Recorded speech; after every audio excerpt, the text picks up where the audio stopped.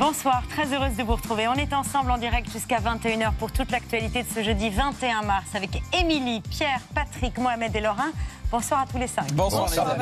Émilie, votre choix de l'actu ce soir. Le témoignage bouleversant d'une des organisatrices du festival qui avait lieu en Israël le 7 octobre dernier et qui a été attaquée par les terroristes du Hamas. Et qui a survécu en se réfugiant pendant 6 heures dans une caravane, dans sa caravane avec son mari et cinq autres de ses amis. Euh, son témoignage, Croire en la vie, euh, paraît aujourd'hui aux éditions Robert Laffont. Elle sera dans un instant sur notre plateau. Mohamed, votre story ce soir. Un tiers des blondes en France deviennent brutes pour euh, paraître plus intelligentes aux yeux de leur patron. Une proposition de loi veut, le- veut changer. Une proposition de loi veut mettre fin à cette discrimination capillaire. On a rencontré des victimes de cette discrimination capillaire. L'inverse est vrai aussi. hein. Il y a des blondes, il y a Des brunes qui se mettent en blonde, mais pour paraître plus intelligentes Non. Juste pour paraître blonde. Mohamed, c'est fait. Je suis complètement perdue. Patrick. Une histoire de justice et de politique. Il a fallu 15 ans pour faire tomber l'ancien homme fort des Bouches-du-Rhône et de la gauche marseillaise, Jean-Noël Guérini. Il n'est plus sénateur depuis ce matin.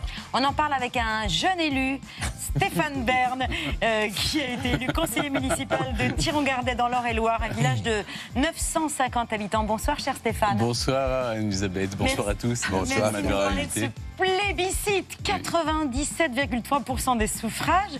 Vous nous expliquerez pourquoi on a voté pour vous.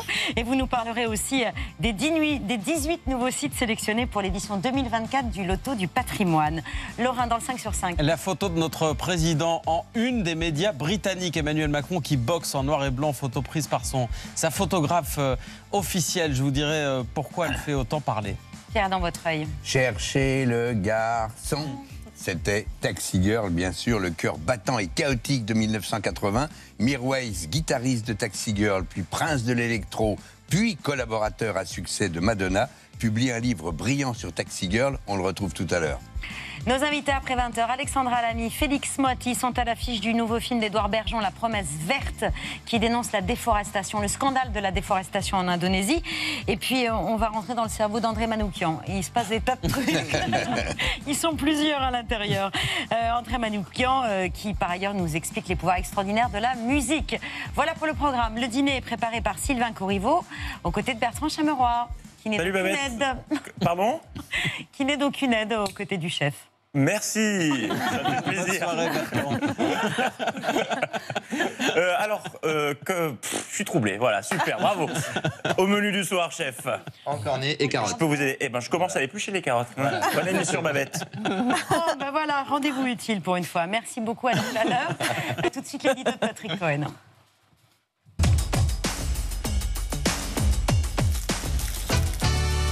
Vous nous parlez donc de la chute de Jean-Noël Guérini, qui fut l'un des hommes politiques les plus puissants de France. Oui, la chute finale, comme l'a titré la Provence, de celui qui fut pendant 17 ans président, le président du département des Bouches-du-Rhône, 2 milliards et demi de, budget, le patron de la gauche marseillaise, à deux doigts d'enlever euh, la mairie euh, à Jean-Claude Godin en 2008, et l'un des grands barons du Parti socialiste jusqu'à son départ du PS en 2014, suzerain tout puissant à qui euh, petits et grands venaient quémander subventions, emplois, investiture. Ceux qui nous regardent et qui se souviennent des fracas et rebondissements de l'affaire Guérini devaient penser sans doute que l'homme était tombé depuis longtemps au fond des oubliettes politiques. Pas du tout. Jean-Noël Guérini était jusqu'à hier un honorable parlementaire. Ce n'est que ce matin que le Sénat a annoncé sa, sa démission. Il y siégeait depuis 25 ans. Démission contrainte et forcée par un arrêt de la Cour de cassation qui rend définitive sa condamnation pour un marché truqué au profit de son frère entrepreneur. Donc 5 ans d'inéligibilité, c'est pour ça que Guérini ne peut plus être sénateur,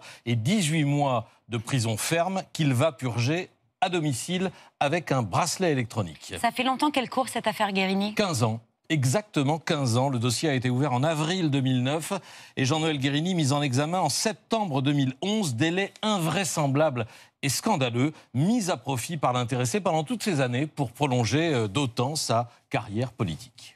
Je reste, je le confirme. Y aurait-il pour vous une présence, une euh, une preuve de culpabilisation? Non. Lorsque vous êtes mis en examen, vous êtes innocent. Je suis innocent une fois, mille fois, un million de fois. Je suis innocent. Vous imaginez bien. que si j'étais coupable, je resterais à la tête euh, du Conseil général? Non. Vous imaginez bien. Quelques mois plus tôt, Renaud Muselier, l'actuel président de région, avait fait paraître ce livre qu'on va voir, le système Guérini. Euh, Tout y était. Et dans une interview au Figaro Magazine, Muselier déclare Les Guérini ont mis en place un système mafieux pour faire main basse sur la deuxième ville de France. Et malgré ça, la justice a pris tout son temps. Guérini et ses avocats ne l'ont pas aidé à accélérer, il faut le dire. Refus par deux fois de répondre au juge qui avait obtenu la levée de son immunité, tentative de faire évincer le, le chef d'enquête, multiples requêtes en nullité jusqu'à la Cour de cassation, comme le font souvent les, les prévenus des dossiers financiers. Il a utilisé toute la boîte à outils du Code de procédure pénale pour retarder l'échéance. À son procès en appel fin 2021, ses avocats avaient invoqué la prescription des faits, pendant que le sénateur, tout au long de l'audience, a fait valoir son droit au silence. Mais la justice aussi a fait preuve d'une lenteur coupable, saisie de torpeur pendant des années, et les juges se sont noyés dans un dossier euh, tentaculaire. Les trois quarts des incriminations de départ se sont soldées par des non-lieux. D'ailleurs, les deux frères Guérini restent mis en examen et dans l'attente d'un procès pour une deuxième affaire. Ils sont soupçonnés d'avoir ouvert leur marché public à des grands noms du banditisme local. Et pendant ce temps, donc, euh, Jean-Noël Guérini a poursuivi sa carrière politique. Oui, alors de plus en plus discrètement, sans plus apparaître dans sa terre d'élection des Bouches-du-Rhône, mais il parvenu, euh, grâce à son réseau d'élus, euh, à se faire réélire au Sénat en 2020. Sénat où il était jusqu'à hier vice-président de la Commission des Affaires étrangères et de la Défense. On voit sa, dernière intervention il y a quelques semaines. Et euh, il n'y a pas longtemps, il y a moins d'un mois, il était du voyage de Gérard Larcher en Inde en tant que président du groupe d'amitié France-Inde. On vient de le voir en train de serrer la main du président du Sénat indien. Ce sera donc sa dernière apparition publique officielle. Il était temps. La présomption d'innocence est un principe précieux, mais qui ne saurait se confondre avec l'impunité. Un élu de la République ne devrait pas pouvoir demeurer près de 13 ans mis en examen et rester élu. Voilà, vous êtes élu, euh, Stéphane Bern. Quand on voit à quel point euh, Jean-Noël Guérini, euh, mais d'autres, hein, usent de toutes les ficelles juridiques pour conserver leur mandat, ça risque un peu plus d'écorner l'image des élus? Absolument. C'est ce qui, justement, fait beaucoup de mal à la démocratie. Je crois que ce qui, au contraire, est honorable, c'est de. Quand on. Allez, je vais le dire, moi, j'ai. J'ai pas besoin d'être élu pour, euh, pour faire des affaires ou pour, euh, pour euh, dire, pour être connu. Les gens me connaissent. En revanche, on peut mettre sa notoriété et son savoir-faire en communication au service de ses, de ses concitoyens, de ses compatriotes, et essayer de servir au lieu de se servir. Et je crois que euh, on peut pas après reprocher qu'il y a plus de, de bons élus si soi-même, quand on vient vous chercher en disant, bah, puisque tu as plein d'idées, bah, viens les mettre au service de ta collectivité. Je pense qu'il faut servir son pays. C'est ça le patriotisme aussi. Mais c'est de mettre les mains dans le cambouis, dans la glaise, de faire des choses.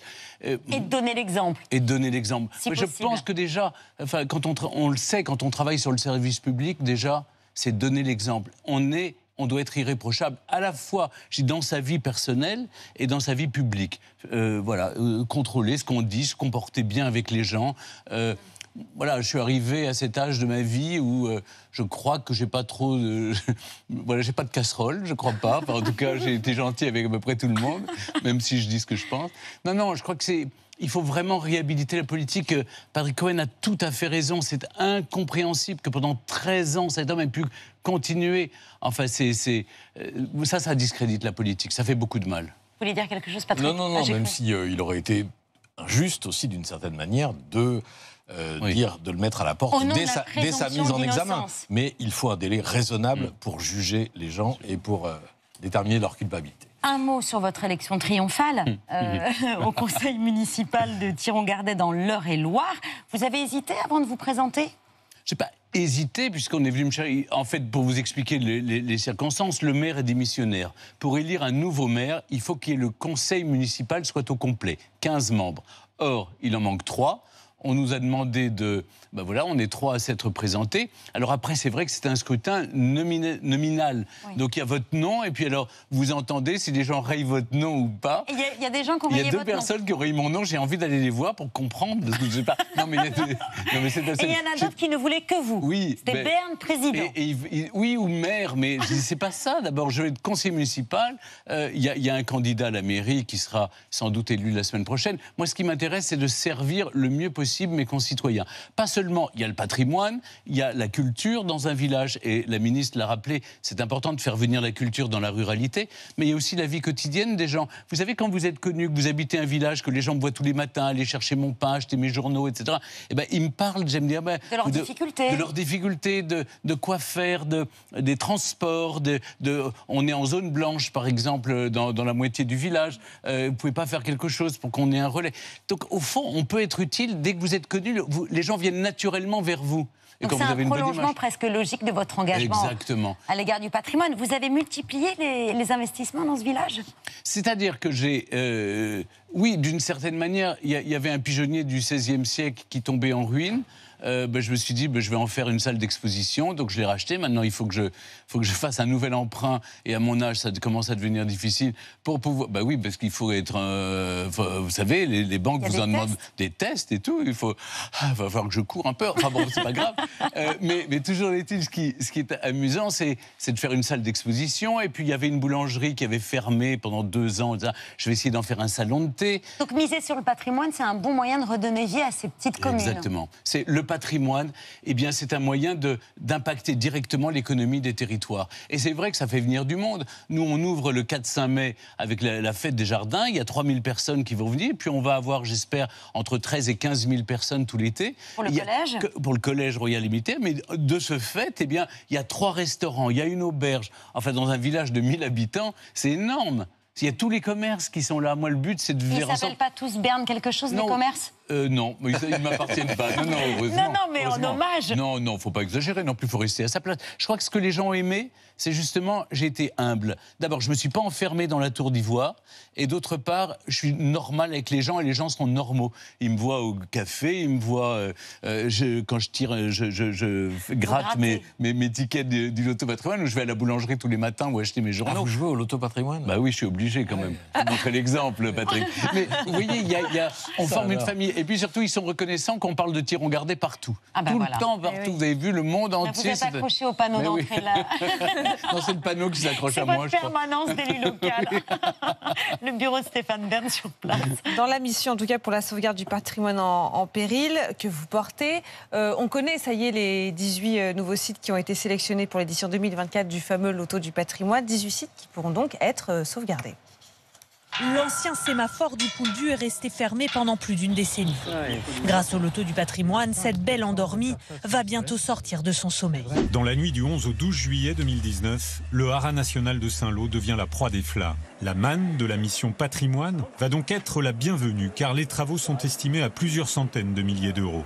La mission Stéphane Bern servira à réhabiliter le jubé de la cathédrale. Il s'agit d'une clôture en pierre qui sépare le chœur de la nef et qui menaçait de s'écrouler. On est sur de la restauration pour le sauver, le consolider, éviter l'usure du temps de 2000 ans. hein. C'est une magnifique nouvelle. Ce beffroi, c'est une des, des plus grandes par sa taille Bastide et euh, Halle et beffroi de la région et même de la France. Arriver à mettre en valeur cet élément-là remplit d'une grande fierté. Ça vous fait quoi d'entendre ces maires là qui voient un élément de, de leur patrimoine euh, sauvegardé? Ça me touche, vous savez, en, en sept- c'est la septième année. On a, on a sauvé 850 monuments ou en, en passe d'être sauvés et récolté 280 millions d'euros. Alors, je n'ai pas fait ça tout seul, c'est que les Français m'ont fait confiance. Je crois que je suis assez légitime pour parler du patrimoine. Moi, je suis bénévole, hein, euh, je fais ça sur mon temps. Euh, et, je n'ai pas touché un centime de l'État. Mais je fais ça pour. C'est l'argent de la, la FDJ, qui est ensuite distribué par la Fondation du patrimoine. Mais ce qui est formidable, c'est qu'on redonne vie à tous ces villages.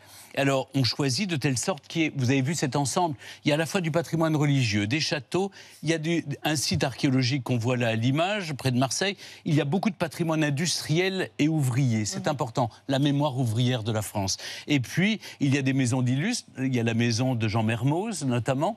Euh, Le château de Jacou le Croquant. oui, euh, oui, j'ai trouvé ça formidable. On, on en- parle en, ce moment en de révolte Périgord. paysanne. Oui, et j'ai trouvé ça très intéressant. D'ailleurs, ça m'a permis de me réconcilier définitivement avec Germinal Perrault, le, le président de la Dordogne. Et, fâchés On était fâchés parce qu'il a voulu faire une, loi, euh, une route de contourne- contournement à Bénac, Ah, oui, oui. qui m'avait un peu fâché. Puis ça y est, on a trouvé une, on- Un terrain d'entente. un terrain d'entente. Mais en fait, ils sont tous très heureux quand ils voient cette manne. Parce qu'on ne va pas se mentir, c'est minimum 500 000 euros Mm. pour chaque site.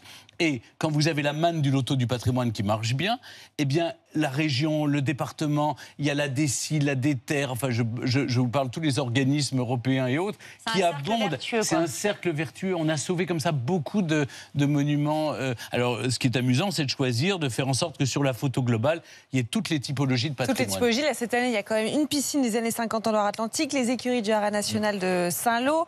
Il y a aussi la tribune d'honneur du Parc des Sports de Marville à la Courneuve en Seine-Saint-Denis. C'est pas innocent, ça, en pas année innocent. euh, de JO. Absolument. On, a- on voulait donner une connotation un peu sportive pour cette année des JO 2024 et je pense que c'est bien aussi parce que c'est aussi du patrimoine. D'abord, souvent c'est du patrimoine du XXe siècle. Souvent c'est du patrimoine qui a été bâti pour les Jeux Olympiques de 1924. La moindre des choses, c'est de les rebâtir pour les JO de 2024 parce que sinon on envoie un mauvais signal quand on parle de développement durable. Alors on construit des installations pour les JO et puis on les laisse tomber ensuite et ça s'effondre. Eh Ben non.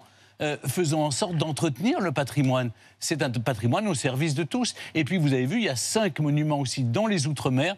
Pour moi, c'est très important. Je suis allé une fois par an, je vais faire le tour d'une des- d'un des, territoires d'Outre-mer ou département. En l'occurrence, j'étais à la Guadeloupe. Je veux voir comment l'argent du loto est utilisé et comment Ah ouais. on restaure. euh, Vous vérifiez. Je vérifie. Ah bah oui. Ah bah oui, bien sûr, il faut. Inspecteur des Ah, travaux. que mais les, gens veulent savoir ce qu'on fait de l'argent du loto quand même. Mm. Et donc cet argent, il est bien employé. Justement, si on ajoute l'auto du patrimoine, les crédits octroyés par le ministère de la Culture, le mécénat d'entreprise, ça fait 280 millions d'euros récoltés, en tout cas pour l'année dernière. Euh, L'époque est aux économies. Est-ce que vous êtes certain que le ministère de la Culture va continuer à vous suivre? Alors là, il ne- le ministère de la Culture ne donne rien là-dessus. Les crédits reportés, vous savez, c'était mon combat contre les taxes. Ah C'est-à-dire, comme je me suis battu, j'ai découvert qu'on prenait des taxes, l'État prenait des taxes sur l'auto du patrimoine. J'ai dit, attendez, vous, vous me donnez dans une poche et vous me reprenez de l'autre, c'est pas possible. Alors, vous me rendez l'argent des taxes. Alors, on m'a dit, bon, ils ont trouvé un système que euh, l'État abonde, c'est-à-dire que dans les crédits, c'est prévu que. Mais c'est seulement pour le, le patrimoine protégé. Et donc, il y a autant de patrimoine non protégé. Non, ça bougera pas. Et d'ailleurs, j'ai. Je ne veux pas faire un secret, puisque j'ai vu la ministre de la Culture ce matin encore. Elle a garanti qu'en tout cas, dans son ministère, l'argent alloué pour le patrimoine serait, euh, je parle en général, pour tout le patrimoine, serait maintenu. Pour soutenir cette cause, vous publiez aussi une euh, revue, euh, Mission Patrimoine, et dans le dernier numéro, vous signez l'éditorial, Babette le montrait, Pardon. euh, en posant cette question dans quel autre pays au monde se mobilise-t-on à coups de pétitions et de tribunes pour ou contre les vitraux contemporains dans la cathédrale de Notre-Dame? Euh, C'est une vraie question et qui finalement montre combien le, le débat est vif et, et profond en France. Personnellement, vous êtes pour ou contre les vitraux contemporains? Je suis pour des vitraux contemporains, parce que d'abord, les vitraux ont toujours évolué. Je suis pour là où ils ont été détruits. Je trouve là où je suis plus réservé, si c'est pour enlever des vitraux, des grisailles de Viollet-le-Duc qui sont classés et protégés depuis 1870, je trouverais ça dommage de les enlever pour les mettre dans le musée de Notre-Dame et de mettre des vitraux à la place. Il y a tellement de vitraux qui ont été endommagés et détruits par l'incendie. Cela, c'est bien. J'ai vu à la cathédrale de Chartres une artiste sud-coréenne qui a fait un travail extraordinaire euh, de lumière. Et puis défendons les vitraux aussi, parce que vous savez que l'Europe aimerait nous interdire d'utiliser le plomb, comme si les vitraillistes et les vitriers euh, léchaient leur, leur- Parce que le plomb ne, ne nous gêne que si on lèche. Vous avez déjà vu un, un- un vitrailliste qui fait un vitrail et qui ensuite va lécher son travail? Non, j'ai jamais vu ça, ni le peut public. se laver les mains, Oui, on peut se laver les mains. Non, mais ça dit quoi du pays dans lequel on Ça vit? dit que la culture est un. Est, est- un sujet euh, Ouais. où on s'emporte. Vous avez vu, c'est-à-dire, euh, il y a les aménagements. Euh, là, par exemple, j'ai accepté, la maire de Paris m'a proposé de faire partie du comité pour la place de la Concorde pour essayer de réfléchir à l'aménagement. Mais parce que tout le monde est en train de se battre. Elle a dit Ah, attendez, avant de vous battre, on va réunir un- un- des, des- des gens qui peuvent. collège. Un collège qui va peut-être réfléchir et décider. Je trouve que c'est la Mais vous, seule vous méthode. pour Ah, l'interdiction Oui. Ah oui, donc c'est la ministre qui veut qu'on réfléchisse. Non, c'est la maire, maire de, de Paris. Paris. La maire de Parce Paris. qu'une partie, il y a une partie de la, de la place de la Concorde qui dépend de l'État, mais une grande partie qui dépend de la mairie de Mais Paris. vous, vous êtes pour qu'on interdise les voitures place de la Concorde? Non, je pense qu'on peut, re- on peut redonner une partie, en tout cas, Ah, au public aussi. Je pense qu'on peut trouver, un, un, disons, un, chemin de, de concorde. Mais vous êtes partout Non, j'essaie de... de tous les combats Mais Anne-Elisabeth, Vous pardon... êtes une sorte d'obélisque. les- les euh, les- Un phare dans la nuit. Je pense que je ne peux pas refuser mon aide, ou en tout cas mon, expertise. Je ne sais pas si elle est acceptée par tous, mais en tout cas, j'ai une sorte de légitimité à pouvoir le faire. Vous ne pouvez pas vous dérober quand les gens viennent vous voir et vous demandent des conseils, ou en tout cas vous demandent de participer à, à défendre le patrimoine national. Euh, moi, je suis du côté des Français, et encore une fois, c'est toujours bénévole. Je mets un point d'honneur à ce que mon nom dans les registres d'État ne soit en face d'aucune somme d'argent. J'utilise mes moyens de transport. Euh, voilà, et c'est toujours à mes frais. Voilà. C'est Bon. une règle que je me suis imposée. Vous restez avec nous jusqu'à 20h, cher euh, Jusqu'à Stéphane. ce que vous me chassiez. Bon, bah, il en est hors de question. Le magazine Mission Patrimoine, donc le numéro 12, est en kiosque avec cet édito vitriol sur Faut pas exagérer non plus. de Notre-Dame. Vous restez avec nous pour suivre un témoignage absolument bouleversant, euh, celui de Laura Blachman-Kadar, qui depuis le 7 octobre 2023 a perdu le sommeil, l'esprit hanté par les atrocités perpétrées par le Hamas dans le désert du Negev, là où cette franco-israélienne de 35 ans participait, comme 3000 autres personnes, au festival Tribe of Nova. Sa caravane installée derrière la piste de danse près de la sortie de secours, là où, faute de pouvoir fuir, elle se réfugie. Euh, le début de 6 heures d'un huis clos suffocant. There were four people here. Me, my friend Doreen, Moore, and uh, Italy. They saw there are people inside the van. My husband speak Arab, and they, they he heard them saying, uh, "There's people live inside. Come here." They tried to open the door a few times. Uh, they shut the van a few times. They they break it. Uh, they tried to open the door, like they break the lock, but for some reason they didn't were able to open the door. Bonsoir Laura Blachman-Kadar. Merci de votre présence ce soir. Croire en la vie, c'est le titre de ce récit qui retrace minute par minute l'assaut meurtrier du Hamas auquel vous avez survécu, réfugié dans cette caravane euh, que vous avez revue trois semaines après le 7 octobre, criblée de balles, détruite, défoncée de toutes parts, vitres brisées, mais qui vous a sauvé la vie. Cette caravane vous a sauvé la vie, mais votre intuition aussi. Vous avez compris qu'il ne fallait pas tenter de fuir. Ben oui, en fait, quand tout a commencé le matin, euh, à 6h28, quand les roquettes ont commencé, au début, on pensait tous que c'était un- une simple attaque de roquettes. Et là, dans notre réalité en Israël, c'est des choses qui arrivent. Et donc, on, a, on est resté sur place, on a pris le temps. On pensait que un quart d'heure, 20 minutes, tout se terminera. Euh, c'est seulement après presque 45 minutes qu'on a commencé à comprendre qu'il y a quelque chose d'un peu bizarre, qu'il y a trop de roquettes, que ça ne se termine pas. Et au début, on a pris notre voiture et la caravane, on voulait partir et je dis, c'est vrai dans le livre, c'est vraiment minute par minute. À 7h37, une amie m'appelle, elle me dit ne prenez surtout pas la route parce qu'il y a des terroristes à droite et à gauche. Et quelques minutes plus tard, quand on commence à entendre des coups de feu et on commence à comprendre, on voit des blessés. euh, le premier ami qui a été tiré dessus est Abou Ashraf, un ami à nous qui était parti chercher à manger pour tout le monde. Et en rentrant dans les, champs, il- s'est fait tirer dessus dans la station euh, d'essence.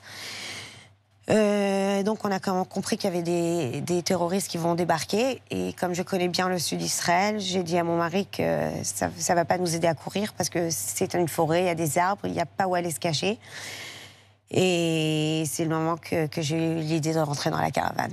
Vous avez été sept ans officier dans les rangs de Sahel, donc vous avez agi en militaire, en ordonnant à votre mari, à vos cinq amis, de vous enfermer dans cette caravane, recroquevillé sur le plancher, rideau baissé, fenêtre fermée.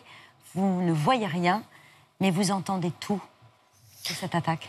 C'est une décision que pendant ces six heures, j'ai regretté plusieurs fois. Euh, au moment que, il y avait plusieurs moments que les terroristes ont essayé d'ouvrir la porte de la caravane, et c'est les moments que je me suis sentie très très coupable d'avoir cette idée de se cacher dans la caravane. Parce que comme vous avez dit, on a tout entendu, on n'a rien vu, donc on a entendu énormément de coups de feu, on a entendu des gens hurler, on a entendu des corps tomber par terre, mais on n'a rien vu. Donc à des moments après, on s'était dit, mais quelle connerie, c'était de rentrer se cacher dans une caravane. On aurait dû partir. Et c'est vrai que quand le terroriste était à la porte, je me suis sentie coupable et je me suis dit, à ces moments-là, je me suis dit, mes amis et mon mari vont mourir, mais c'est à cause de moi. Euh, à plusieurs reprises, vous l'avez dit, ils essayent de défoncer la porte, ils tirent dessus, une balle transperce la porte de la caravane, ils donnent des coups d'épaule, de marteau, ils essayent même de mettre le feu à votre caravane. Euh, à un moment donné, vous pensez que vous allez mourir, vous communiquez par SMS avec votre mari, vous lui dites je t'aime, et à 11h55, vous envoyez un message d'adieu à votre famille en vous excusant de leur avoir menti Parce que toute la matinée, vous leur donniez des informations rassurantes pour ne pas les inquiéter. Oui, euh, bah, en fait, euh, même ce message-là, je ne l'ai pas envoyé directement à ma famille, je l'ai envoyé à un ami, à deux contacts que, que je discutais avec eux toute la journée. J'étais incapable de dire à mes parents où je suis vraiment. Euh, ils ont bien compris depuis le matin ce qui se passe, mais je leur ai dit que j'étais dans un endroit, j'attends qu'on vienne me chercher, je leur ai pas dit qu'on était au milieu. Et même dans ces moments-là, que pour nous, j'ai dit adieu à mon mari, et pour nous, j'ai dit adieu à la vie. Euh, J'avais pas le cœur de le dire à mes parents et j'ai préféré que qu'on annonce à mes parents seulement quand ce sera vraiment définitif. Euh, donc à ces moments-là, quand on a dit adieu, euh, j'ai envoyé à un ami un message que qu'il disait à mes, pa- à mes parents et à mes frères que, que je les aime et que je m'excuse d'avoir menti parce que je- j'avais vraiment pas le cœur de leur dire. À midi et demi, l'armée arrive sur place. À 13h10, les tirs cessent. Vous restez dans cette caravane jusqu'à 14h. Là seulement, vous prenez la décision de sortir. Et c'est là que vous découvrez l'ampleur de l'attaque, euh, l'ampleur du massacre. Oui. euh, on pensait que les 6 heures qu'on était cachés dans la caravane étaient, le cauchemar, mais en fait, le cauchemar, il continue, depuis. Euh, c'est vrai que seulement à 14 heures, on a pu sortir de la caravane. On était assurés, on était rassurés. On a eu quelqu'un au téléphone qui nous voyait de loin. Et si pendant 6 heures, j'étais je me sentais coupable euh, d'avoir ramené tout le monde dans la caravane, c'est à 14 heures que j'ai compris que notre vie était sauvée, que tous les gens qu'on était debout avec eux six heures avant, la plupart d'eux étaient, étaient, étaient par terre à ces moments-là. Euh, je ne savais pas qu'on peut, qu'on peut voir des, des- des choses comme ça. Des corps vue. Des, on est sorti, il y avait des, énormément de, de- de cadavres, de gens morts par terre. De, on a vu une partie des terroristes qui ont été tués, mais on, des centaines, des dizaines de festivaliers, tout le monde avec un bracelet bleu pour entrer et sortir du festival. Et surtout, faut dire que c'est un champ magnifique. Le soleil était dans le ciel, il faisait, le, soleil était, le, le ciel était bleu, le soleil était, tout était vert. Mais il y avait des gens étalés un peu partout. 317 personnes qui ont été tuées euh, sur euh, le lieu du festival, plus de 2000 qui ont été blessées, une quarantaine prises en otage. Et ça rejoint ce que vous étiez en train de dire, que ce champ est magnifique. Aujourd'hui, vous écrivez Le vent a balayé les cendres, la pluie a effacé le sang, il ne reste aucune trace visible de l'horreur. L'endroit d'ailleurs qui est devenu un lieu de pèlerinage. Sur les champs où les festivaliers ont été massacrés, des arbres ont été plantés. Au pied de chacun, la photo d'une victime. Ils étaient jeunes et ils s'étaient réunis pour danser pour la paix. Je suis déjà venu ici. C'était juste après l'attaque terroriste. Des corps gisaient partout. Alors voir aujourd'hui la nature reprendre ses droits et voir tous ces gens qui viennent de partout est pour moi vraiment réconfortant. Un lieu de pèlerinage désormais gardé par des militaires. Ils accueillent parfois les visiteurs en chantant à la mémoire des victimes. C'est une thérapie pour moi ici. Je vous dis la vérité. C'est une forme de thérapie. Alors malgré euh, vos réticences, vous êtes suivi euh, psychologiquement. Pour écrire le livre, vous êtes parti euh, en Inde, au calme. On voit là que vous êtes fébrile, vulnérable sur ce plateau. Comment vous vous sentez aujourd'hui Le traumatisme, il est toujours là? Le traumatisme, il est, oui, bien sûr, il est toujours là et les cauchemars viennent avec, après nous, avec nous en Inde. Mais la pire des choses, vous savez, mon cauchemar à moi, il a duré 6 heures, il a duré une journée. J'ai des amis que ça fait 167 jours que leur cauchemar continue. Et donc le traumatisme est avec nous, mais je ne pense pas qu'on peut commencer à vraiment guérir ou à vraiment respirer comme il faut, tant qu'à chaque moment on pense à nos amis qui sont toujours là-bas. Quand vous avez commencé l'écriture de, de ce livre, vous étiez persuadé, avez-vous dit, que la guerre serait finie lorsque votre livre sortirait en librairie. Ça n'est pas le cas. Et vous avez sans doute vu, comme nous, qu'hier soir, les États-Unis ont présenté un projet de résolution à l'ONU appelant pour la première fois à un cessez-le-feu immédiat. Well, in fact, we actually have a resolution that we put forward right now that's before the United Nations Security Council that does call for an immediate ceasefire tied to the release of hostages. And we uh, hope very much that countries will, uh, will support that. I think that would send a, a strong message, a strong signal. Of course, we, we stand with Israel in its right to defend itself, to make sure that October 7th never happens again. But at the same time, it's imperative that the civilians who are in harm's way and who are suffering so terribly that we focus on them, that we make them a priority, protecting the civilians, getting them humanitarian assistance. Vous l'avez dit, vous avez des, des amis qui sont otages à Gaza, des amis d'amis. Vous le recevez comment ce, ce communiqué de, de demande de cesser le feu de la part des États-Unis je pense que tout le monde veut cesser le feu et tout le monde aimerait revenir au 6 octobre et que cette guerre s'arrête enfin. Mais je pense qu'on regarde sans arrêt Israël et on lui demande de cesser le feu. Mais je pense que ceux qui peuvent vraiment faire que le feu cesse et que cette guerre se termine, c'est ceux qui ont commencé cette guerre. Et la seule manière de cesser le feu et terminer cette guerre, c'est de ramener les gens qui ont été pris le 7 octobre. Je n'ai aucun doute que si demain matin tous les otages seraient revenus, le feu cessera automatiquement. Vous êtes né en France d'un père français et d'une mère israélienne. Ce livre, vous l'avez écrit en français pour que les Français le lisent. Pourquoi? Parce que vous savez que les actes antisémites ont explosé en France depuis le 7 octobre dernier. C'est pour leur rappeler un peu euh, ce qui s'est passé? Ben, en fait, euh, j'ai un peu la sensation que le but de mon livre a changé le jour où j'ai commencé à l'écrire, le jour où il sort.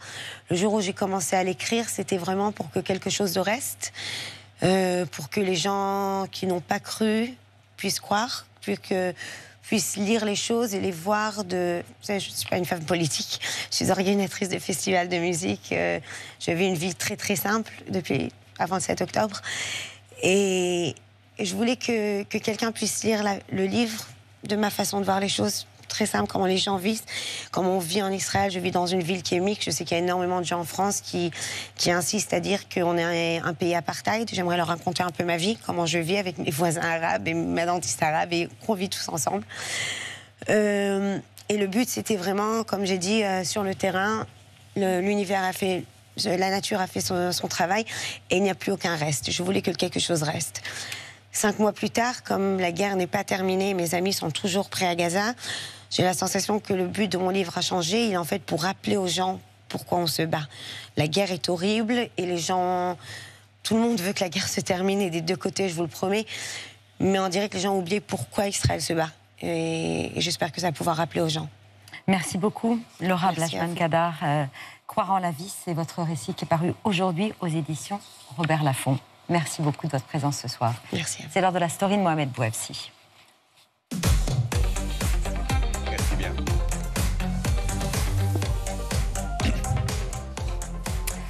Mohamed, la France pourrait devenir le premier pays à légiférer contre les discriminations capillaires. Oui, l'Assemblée nationale va examiner le 28 mars cette proposition euh, de loi. Elle s'appuie sur une enquête qui relève qu'aux États-Unis, deux tiers des femmes afro-descendantes changent de coiffure avant un entretien d'embauche.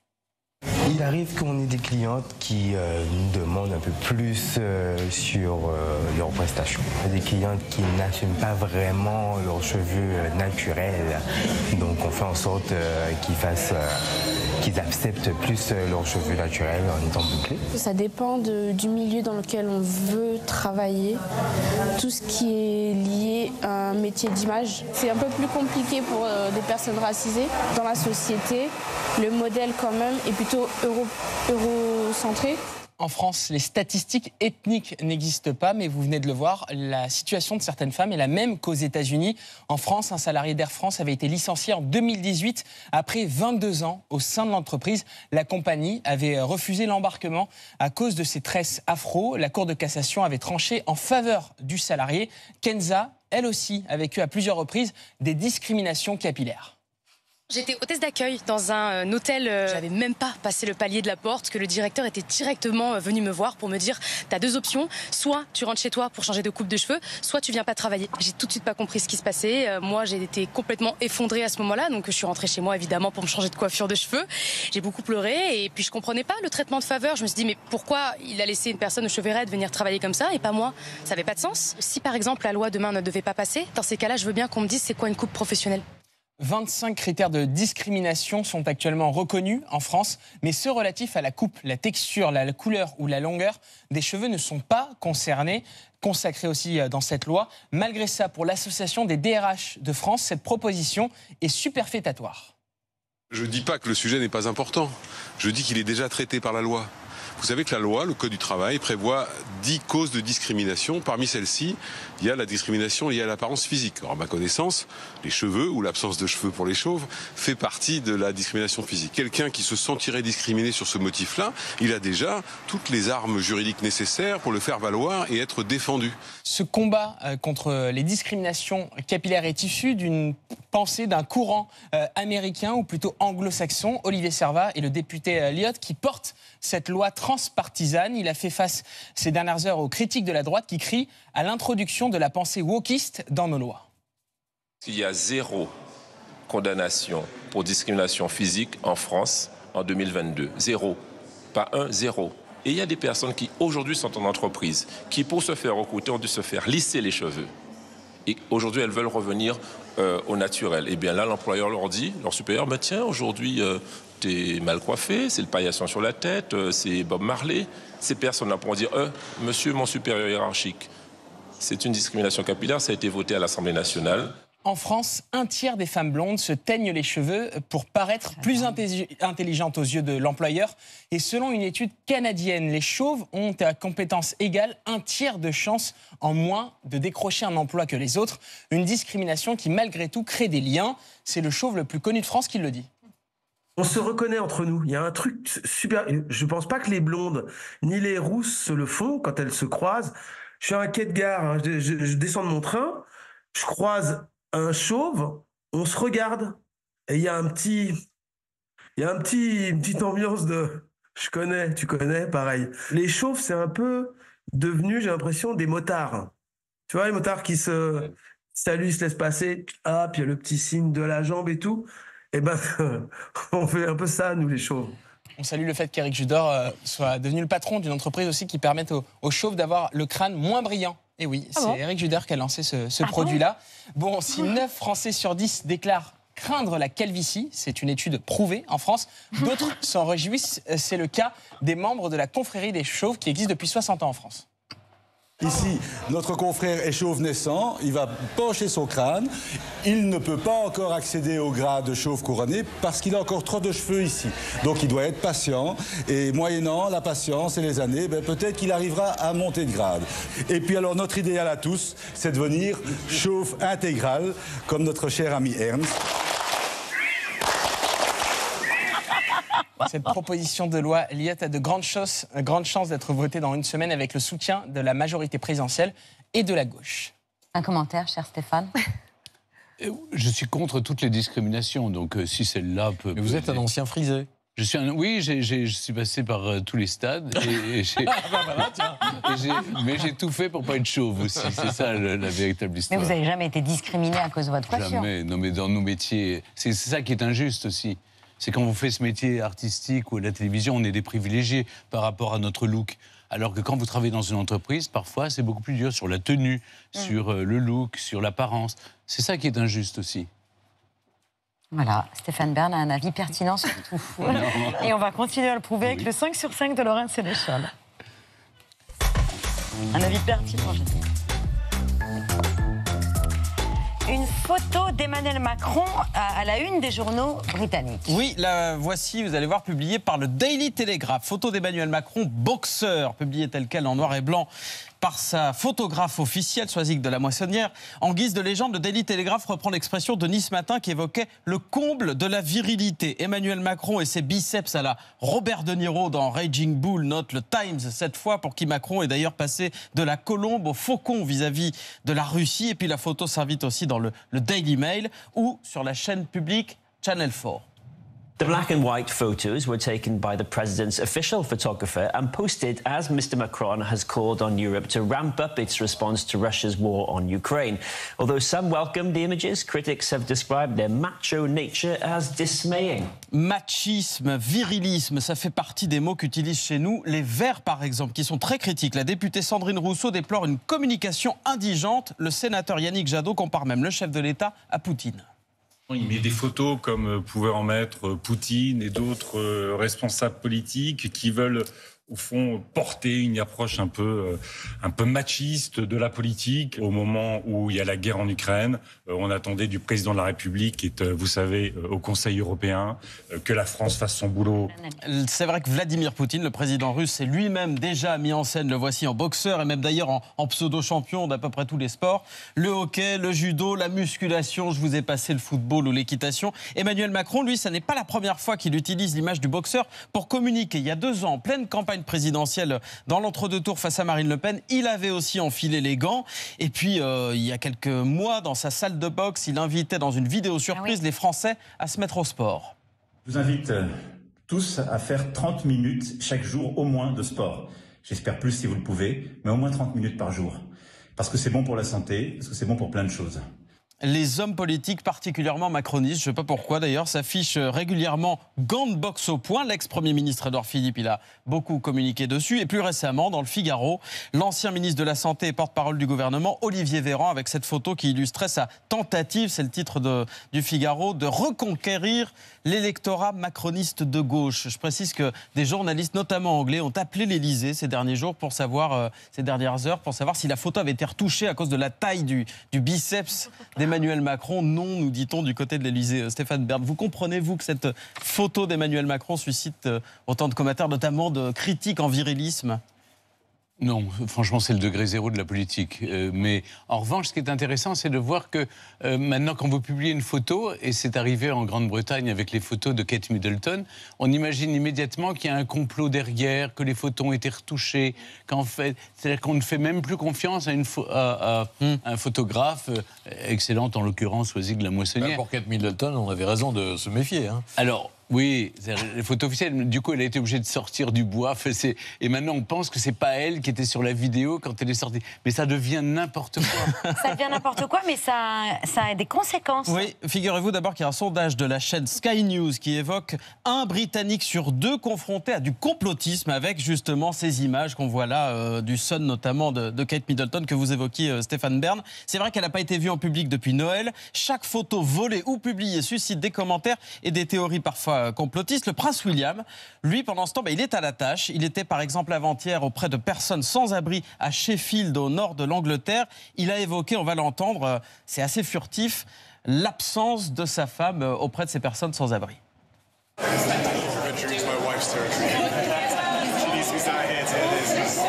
Voilà, quelques mots qui, sans nul doute, vont générer à leur tour des commentaires, des théories. Que peut la couronne qui verrouillait euh, du temps d'Elisabeth II la communication Eh bien, pas grand-chose à entendre celui qui, justement, était en charge du service de presse de la reine.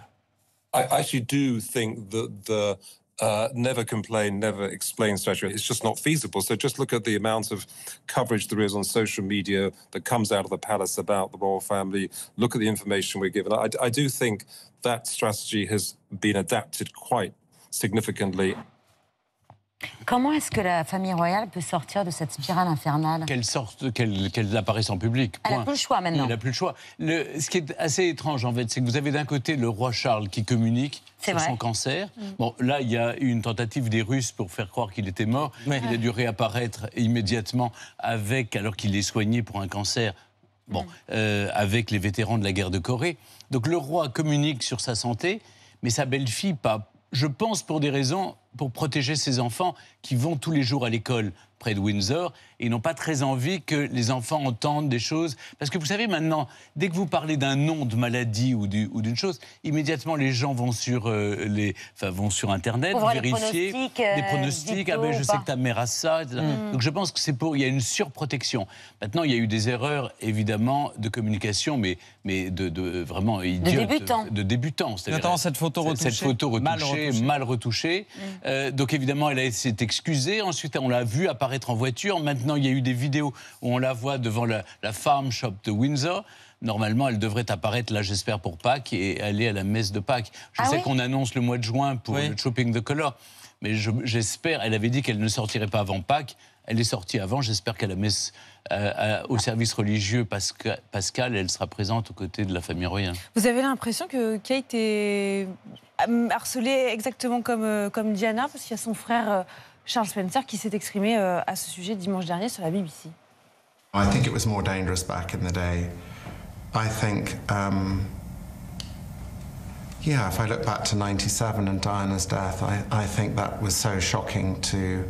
The, the, the, circumstance of her death was so shocking that it did make the industry that supports the paparazzi really consider it more carefully what it could and couldn't do. Not because they had a moral judgment, but because it was unacceptable. Elle a été harcelée par la presse. Diana, aujourd'hui, c'est les euh, réseaux sociaux. Vous avez écrit euh, dans le prochain numéro de Légende, la Légende qui sera sur Diana, justement sur le- les, les liaisons dangereuses que Diana entretenait euh, avec les, les- les journaux, les journalistes. Elle s'en servait un peu aussi. Elle, s'en est servie, mais je- je- j'ai essayé de la comprendre, évidemment. Mhm. Elle a fini par s'aimer dans le regard des autres. Il faut jamais l'oublier. À défaut d'être aimée par son mari et d'être heureuse en, en ménage, elle a fini par s'aimer dans le regard des autres. Donc elle avait ce rapport avec le public et donc elle, elle invitait les journalistes. Il y, a cette BBC il y a cette interview sur la BBC dans Panorama qui est terrible, où euh, euh, d'ailleurs qui a été extorquée en quelque sorte. avoir. Elle s'est fait Ouais. avoir. Mais elle a fait venir, on a, où on a fait venir, où c'est Mohamed Al-Fayed, on ne sait pas, qui a fait venir les paparazzi euh, le dernier été à Saint-Tropez pour la prendre en photo avec Dodi Al-Fayed. Donc il y avait un jeu du chat et de la souris terrible. Là, je pense que Kate, Avec Middle- Kate, ouais. avec Kate Middleton, c'est c'est autre chose. Elle ne se sent pas du tout harcelée par la presse, d'abord parce qu'elle a voulu le job, elle le fait très bien, c'est Miss Perfect. Elle est parfaite, elle est absolument parfaite, elle fait tout très bien. Je pense que là, c'est une mauvaise passe, d'abord parce que toute la famille royale est malade, euh, entre ceux qui... euh, euh, mais, mais je trouve que le... enfin, non, mais c'est vrai, il, il manque la moitié des, des- des forces vives et le prince Harry est parti en Californie. Ce que je trouve intéressant avec le roi, c'est qu'il a parlé de sa prostate. Ça a fait exploser le nombre en De Angleterre contrôle, de contrôle de dépistage. Et là, il parle de son cancer en disant attendez, au moins prenez, regardez différemment les malades du cancer. Évidemment, un Britannique sur deux est victime du cancer. Ouais. Et je trouve que c'est là, c'est, c'est- il est vraiment dans ce rôle. Maintenant, Kate, je pense qu'elle veut protéger sa famille. Elle va sortir dans quelques jours. Tout ça sera oublié. Mais je note quand même que le complotisme est partout Ouais. et va se, se, se nicher dans les photos du président, dans les photos de Kate. Maintenant, on peut plus publier une photo sans que des gens viennent vous dire ah non mais non mais là Mais vous nous, avez- l'image de cet avou est truquée en direct. figurez-vous. Non, mais avouez, avouez que ça remarque qu'on a été dans des campagnes aussi Oui, de- c'est vrai. Une autre famille, c'est la une de Paris Match cette semaine, la famille régnante de Monaco au grand complet, Albert, Charlène et les enfants, c'est vous qui avez, qui les avez réunis, euh, ce qui faisait... Enfin, ils étaient réunis pour l'anniversaire du prince. Un petit Eux, ils Ils m'ont pas attendu pour, euh, pour le gâteau, si vous voulez. devant, devant, devant un appareil photo et ensuite pour, euh, pour une interview. Alors on, voit bien que c'est une, une rencontre à visée euh, surtout familiale hein, Mm. pour rassurer sur euh, l'état de santé de, de Charlène et puis sur la, la solidité du, du couple. Mais vous lui avez parlé au prince Albert de Claude Palmero, l'ex-administrateur des biens de la, la couronne, celui qui a divulgué tous ces documents financiers qui montrent euh, les placements euh, euh, de la principauté, le train de vie de la famille, etc. Mm. Qu'est-ce qui, qui vous a répondu? En fait, ce qui m'intéressait, c'est comment un souverain, un chef d'État, un être humain, finalement, ressent la trahison. Des gens à qui il avait confiance, à qui il, avait, tout donné, sa confiance, et, qui, le trahissent. Et ça, c'est quelque chose qui est insupportable. Alors certes, il a une carapace assez solide, il le dit, j'ai une carapace solide, j'ai vu déjà faire autour de mes parents quand j'étais enfant. Là maintenant, j'ai pris les rênes en 2005. Euh, je ne dis pas dit, je ne dis pas que ça glisse sur moi, mais je- au contraire, il dit qu'il est très affecté par, par toutes ces trahisons. Mais c'est le cas d'un chef d'État, c'est qu'on est entouré de gens qui vous mettez votre confiance, qui n'en sont pas toujours dignes. Hmm. Oui, on vient à l'instant d'apprendre la mort de Frédéric Mitterrand, euh, homme de télévision, ancien ministre euh, de la Culture. C'est sa famille qui a annoncé euh, à l'AFP la disparition de Frédéric Mitterrand. Euh, Oui, qui était le neveu de François Mitterrand, qui a été ministre de la Culture de 2009 à 2012 sous Nicolas Sarkozy. Il a aussi été un homme de, euh, de, De télévision, de Étoile, radio, Étoile. à Europe 1, à France Culture, à France Inter, samedi sur France Culture, par exemple. Euh, il était malade, hein, il, a- il avait 76 ans et il avait évoqué encore l'été dernier sa maladie. Il expliquait qu'il portait une casquette pour ne pas qu'on voit qu'il était malade. Avec ma casquette, je suis un peu moins malade, disait-il il y a encore quelques mois. Il louait des artistes dont on a parlé ici, comme Florent Pagny, qui a évoqué euh, euh, sa maladie, euh, Frédéric Mitterrand. Donc, euh, Il était venu encore il y a quelques semaines au micro de, de RTL pour euh, évoquer euh, sa successeur Rachida Dati. Je l'avais moi-même reçu sur le plateau de France Info pour parler de Rachida Oui. Dati il y a quelques semaines. J'avais même pas remarqué qu'il était malade. on vous sent Stéphane, ému, ouais. Stéphane Bern. Oui. Et je suis très ému parce que, évidemment, c'était mon modèle, c'était c'était un ami. C'est c'est je peux- j'aurais du mal à en parler au passé. C'est je le savais malade, évidemment. On échangeait, il me disait ça allait. Je prenais des nouvelles auprès de Jean Gabriel, son frère.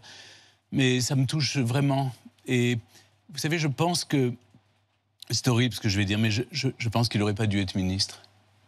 Je pense, mais parce que je pense que il, il a été ministre et, et il me disait moi ce que j'aime c'est faire de la télévision, raconter des histoires et tout le monde lui a tourné le dos après.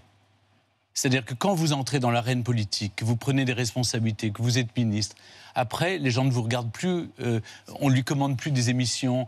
Il a eu beaucoup de mal à remonter il la a eu pente, du mal à remonter la pente, il a fait des livres. C'est un immense écrivain, c'est un immense écrivain. C'est quelqu'un qui a, il avait une sensibilité, il a fait des films formidables. C'est un homme de culture, mais après avoir été ministre, je comprends que ça soit difficile de résister. Par chance, mais on me le proposera jamais.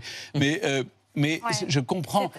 C'est un aller sans retour, C'est un aller et sans qu'on vous retour. fait payer le prix et fort. après, vous payez le prix fort. Tout le monde se détourne de vous. Vous n'avez plus de boulot, plus rien. Ça, je pense que ça a provoqué quelque chose, un, un choc. J'ai beaucoup de peine ce soir, vraiment, d'apprendre la mort de Frédéric. C'est mon ami Fredo. Vous savez, je, je faisais toutes ces émissions l'après-midi du côté de chez Fred. Ma grand-mère m'appelait en me disant Je t'ai vu avec des soquettes blanches. Comment tu peux porter des chaussettes blanches chez Fredo? C'est le premier qui m'a donné ma chance. Et après, il me disait, il me disait À quoi bon que je continue maintenant que tu là? Bah, si, j'aurais aimé qu'il continue. Merci beaucoup, cher Stéphane, d'avoir accepté ce soir notre invitation. Je rappelle donc cette information euh, la disparition de Frédéric Mitterrand à 76 ans. Euh, il était malade. Euh, on lui rendra hommage, évidemment, demain dans C'est à vous. Merci beaucoup d'avoir accepté notre invitation. Dans un instant, nos invités Alexandra Lamy, Édouard Bergeon, Félix Moati, euh, Laurence Boutard pour parler des 70 ans de Martine et puis André Manoukian, Le Vu, L'œil de Pierre, les radoteurs et les actualités de Bertrand. À tout de suite, on est ensemble jusqu'à 21h. Merci.